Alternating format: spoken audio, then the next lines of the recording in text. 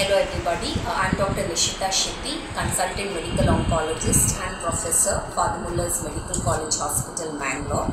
Today I would uh, update, like to update you on uh, ovarian cancer demographics.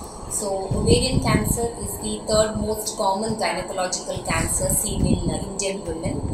The prevalence is around uh, 5.85 to 8 per 1 lakh Indian women and the age group we see commonly on an average is more than 50 years 55 to 65 however in uh, patients with a strong family history we also see in less than 40 years age group also.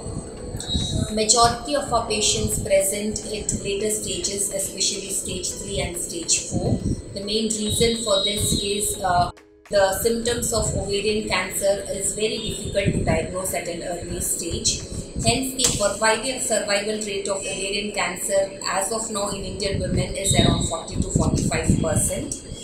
There are no effective screening strategies routinely advised. However, in patients with a strong family history, we recommend doing certain tumor markers and uh, radiological examination for an early diagnosis.